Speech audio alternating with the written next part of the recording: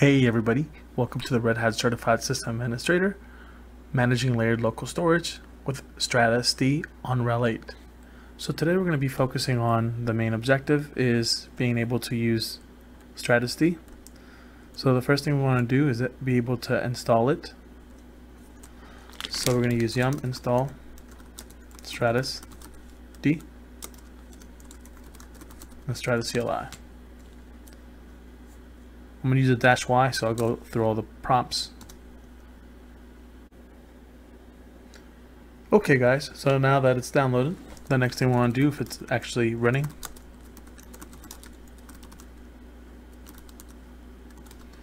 So as we can see, it's actually inactive and is dead.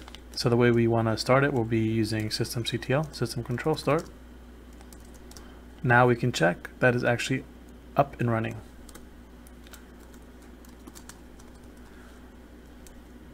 Alright, so the next thing we want to do is actually list our block devices.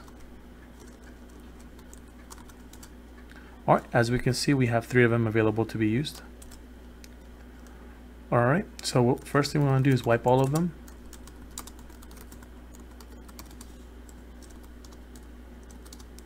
Alright, now that they're all wiped, we can actually start making our first pool. So Stratis pool, create, and then we're going to give it the name. We want to call it pool 0 and we want to use this device. Alright, so now if we check, we'll see that it located uh, memory to pool 0.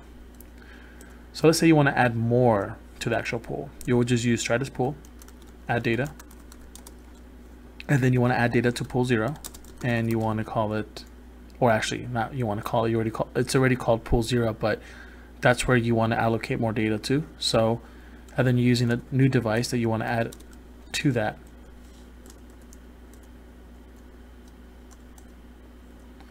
All right, as you can see now, you can see that it's double the space now. So it's at four versus it was at two earlier. So next thing we want to do is actually make a file system. And the way we do that is use Stratis, FS. So same thing as earlier, pool create, we're going to use FS create. So we're going to do uh, Stratis FS create. And then we're going to give it a um, name, FS1. But before that, we've got to actually specify what pool it's in. So it's in pool 0, and we're going to call it FS1. Alright, so it might take about a couple of seconds to maybe a minute for it to actually make the file system. Alright, so now you can actually check. As you can see, the pool name is pool0 and there's a file system fs1. So, and the amount of memory is used actually changes dynamically. So depending if you add more stuff to it, it will actually grow in size. All right, so the next thing we want to do, we want to be able to make a mount point for it.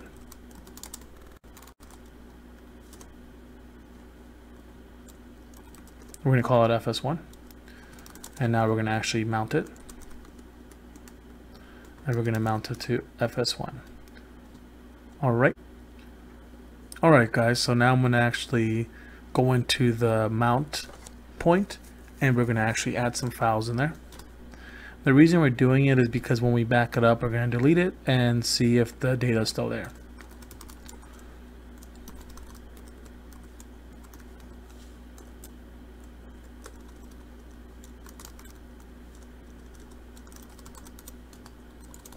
So we see we have two files in there. There's nothing in there, of course. All right, so the next thing we're going to do, we're going to actually make a backup of it using Stratis FS snapshot. And the snapshot, we're going to get it from pool 0,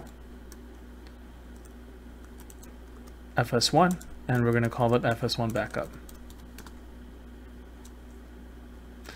So basically saying that we want to make a snapshot from pool 0, the name of the file system fs1, and we want to name it fs1 backup. So it might take up to a minute for this to actually make the snapshot.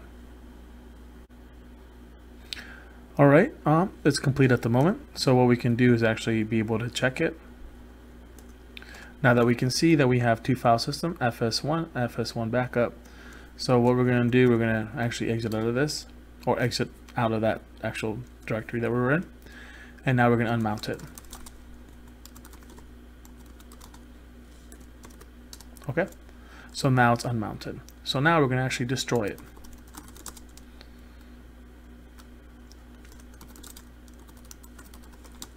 And we're going to destroy file system one, where we had those two files, if you guys remember. And we have to specify which pool is located in. Now if we check, we see that we only have a backup available. So the next thing we're going to do, we're going to mount the backup to the original mount point that we had earlier with the first file system.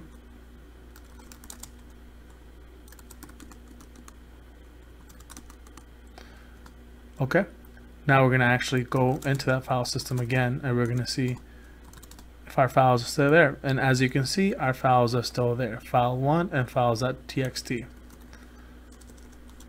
Okay, so next thing we're going to do, we're going to make this persistent.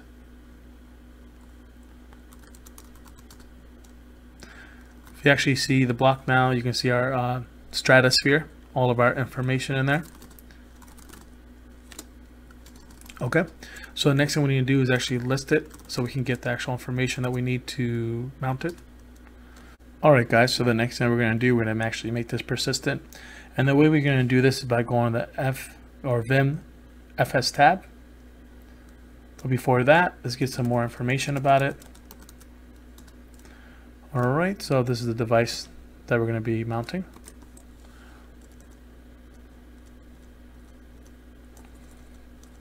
Okay, so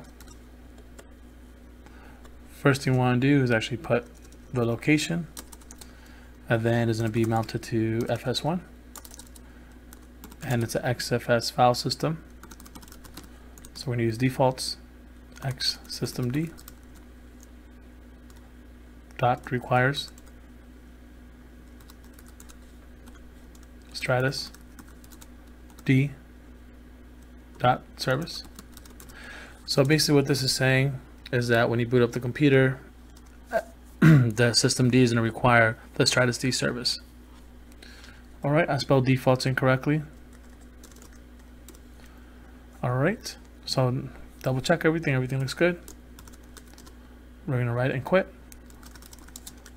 You can use the mount um, dash A if you don't see anything, that means that everything um, mounted properly. You can also check with mount and then you can grep for FS1. Alright, as you can see, FS1, and you see that it's mounted properly. Alright, so the next thing we want to do, um, after this is actually persistent, so that's great. So that means when it boots, when you uh, boot off the computer, when it restarts, it'll always be there no matter what. So the next thing we have to know is how to destroy the file systems. So the way you'll do that is use unmount.